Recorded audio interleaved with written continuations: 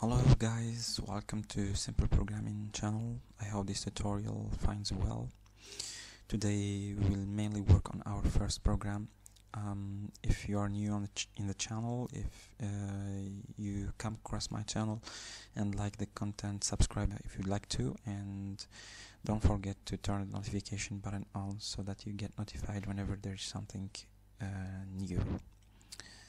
Before we step through programming, um, I would like to highlight something we have done in the previous video, which is the relation between JDK and NetBeans. So let's see it. So let's suppose that you have a plumbing project in your apartment, like the one that shows up here on screen. For that you need to call a plumber, a skilled plumber of course, as the one here, Mr. James and for Mr. James in order to perform his task he needs tools. Because without tools no matter how skillful he is it's impossible for him to work. Because you know guys um, in order to bend uh, this pipe for instance he needs tools in order to install this gate valve he needs tools in order to install the washing machine he needs tools and so on and so forth. So basically this is how you can think of the relation between NetBeans and Java Development Kit JDK because in order to build a software we need to use tools. And of course. Um, the tools user here is the programmer but we need to use them for something which is the editor the NetBeans in our case.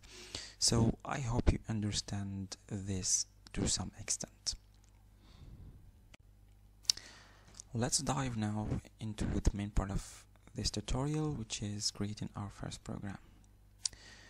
To create a program in Java first of all you need to create a new project. For that go to file here. Click on it new project. Click on it. This window will show up here. Create on java with Ant java application hit next. Another window will show up. So here we have the project name. Let's give it the name my first program uh, just information guys. If your project name contains uh, more than one word uh, just keep them connected to each other and start each new word with a capital letter. Like in our case here first is capitalized and program is capitalized. Here is your project location. Mm, you can save your project wherever you want. Just click on browse here and customize your uh, project's location uh, third thing here is that we need to uncheck this box because as a beginner in Java we don't need Java to auto-generate uh, any part of our program. And if you let this box check like that it's gonna auto-generate uh, what we call the main method which is um, the most important method uh, in our program in order to run uh, the program. So just check it because we would like to write it manually. Okay, once you're done, hit finish and our class is gonna be uploaded as you can see here. Create a new project. Now here if you see in the left side our project is uh, created. Just click on plus here to get a little bit familiar with uh, this. This is your source package or source packages if you have more than one package. We don't need to worry about the word package right now because um, we don't need it. And here we have default package because we didn't create any. So in order to write uh, our code our program we need a class in Java. And to create class just click here on default package new and create Java class. This window shows out here new our class name. So let's give the name to our class. Let's say first program. And hit finish. And our class upload okay here is our class. This is the output console here. Let's put it down. Just delete these comments because we don't need them. They are auto-generated too. So this is what we need to care about. This is your class. It always starts by public class and the class name. And it matches with the class name here .java .java is the extension of your class. And the class limits are between these two braces now pretty much every code uh, we need to type is going to be typed here between these two braces. There is one exception which we will see later. I don't want to talk about it right now now the second step we should do is to write our main method. Also you don't need to worry about the word main. Just keep in mind that this main method is very important and without it we cannot run our program. So let's create our main method. Just follow me. Type public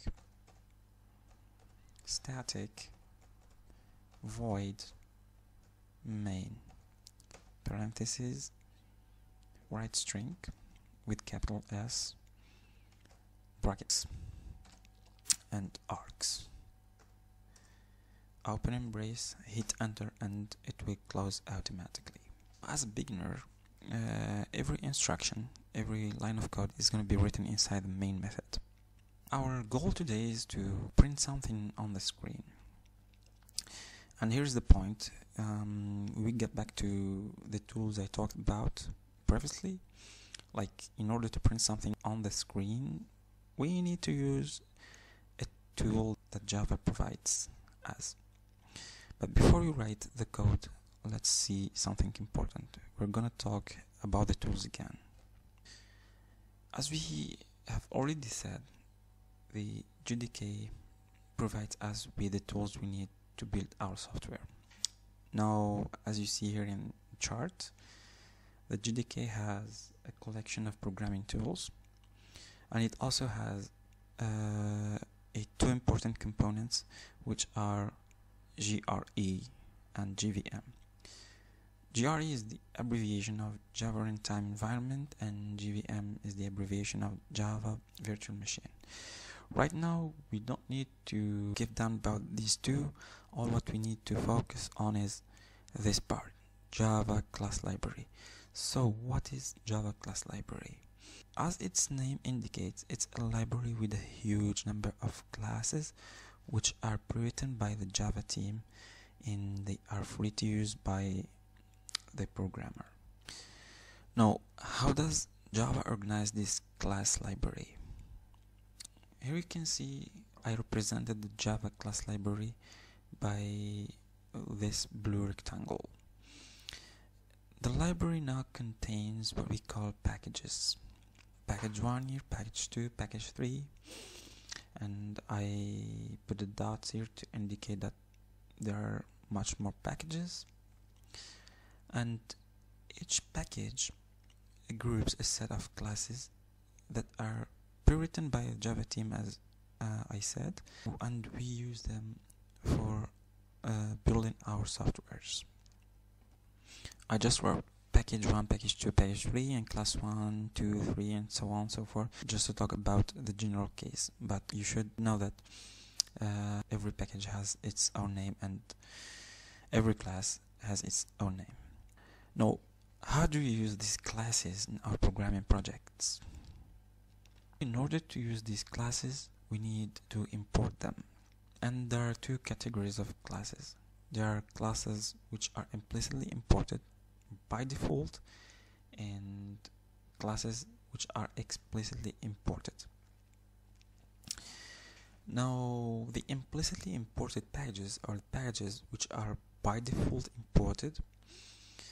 Um, we don't need to write any code to import them we have direct access to the classes just by writing the class name in the editor and we will see that in our tutorial today. Example the system class which we will use later on from the javalang package. And the explicitly imported packages or classes, in order to import them, we need to write a line of code and we will see that in next tutorials in order to get access to the classes of the package. Example, the scanner class um, from JavaUtil package. We use scanner class in order to set an input and we will see that um, in uh, coming tutorials. Now we are back to our class and we will see practical exploitation of uh, the system class because we need to print something on screen. Let's say that we want to print this expression. Hello world, this is my first program in Java. For that, the system class in Java, which is implicitly imported as we said, we don't need to do anything to import to import it we just need to type its name so let's write system system with a capital S. Be aware. Now you might ask yourself um, uh, how can I know the function of each class? That comes with experience and time so don't worry. Now after you type system hit the dot here and when you hit dot NetBeans is smart enough to guess what sort of uh, functions you want. In our case we need out. And this out kind of indicates it gives you description here if you want to um, read. Um, but we briefly talk about out like it's a print stream like I want to get an output. So hit out. Hit enter sorry. And another dot. Now after this dot it gives you all the functionalities inside the class system we need to print something for that we call um, one of the functionalities which is called print. It's actually a method. We don't need to worry about the meaning of method right now but it is just um, a functionality that enables us to print something on screen on the console here. So write your or write your print and parentheses and here write your text. Hello world. This is my first program in Java. Now we are done with writing code um, before you run the program save save your program or save the changes by clicking Ctrl and S once you're done with that go to the run button. Here the green one here. And click on it. And hit OK. Here your first program is running. Mm, should wait a little bit. And here is our output. Hello world this is my first program in Java. So we did it. We printed something on a screen on a console here. But what's a little bit annoying is that we don't uh, need this uh, auto-generated message to be stuck to our text. It doesn't look uh, beautiful. We want this auto-generated message to start from the next line. Okay don't worry about that. Java gives you this tool. Just go back to your code and add ln to print and run again your code. And here is our result. Hello world. This is my first program in Java and build successful um, is printed uh, from the next line. Now what is the difference between println and print? Actually when you write print if you have something to print it's gonna be printed here and if there's something else to be printed it's gonna be printed from just here where my cursor is. And uh, regarding println when you write um, println your uh, output is gonna be printed and if there is something else to be printed it's gonna start uh, from the next line like in our case here. We can see another example like system or just copy and paste. It's too important in programming. Let's write here. Simple programming. Run your program here. Here is our output. You can see here hello world this is my first program in java and it's printed in a single line and same thing for simple programming. We can also print an arithmetic result of so for example let's say let's uh, set an addition operation 4 plus 8 and the result is 12 obviously and Java will do the task.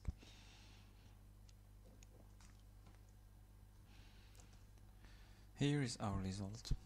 Um, every result is printed in a single line so now I expect that you are a little bit familiar with the system class and with at least two of its functionalities or the print functionality and the println functionality.